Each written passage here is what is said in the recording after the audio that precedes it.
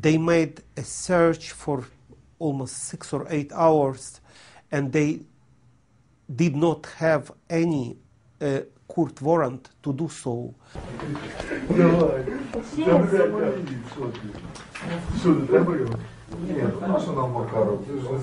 From this video, you can clearly see that the real interest of the police officers that were raiding the uh, premise of Vinnytsya Human Rights Group was for documents of Somali asylum seekers, which is the main group of our refugee and asylum seeker clients.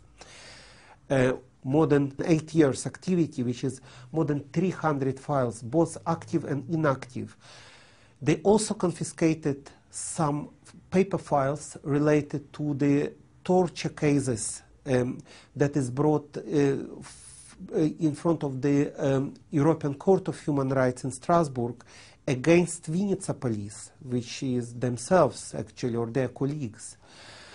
Speculation or guess is that the main interest of the police in Vinnytsia was a video testimonies like you are doing now with me that we were doing for more than a year with the Somalis that are not only victims of terrible human rights violations in their countries, but unfortunately also victims of different sort of physical, psychological violence, uh, criminal activities like uh, illegal smuggling um, violations that is made by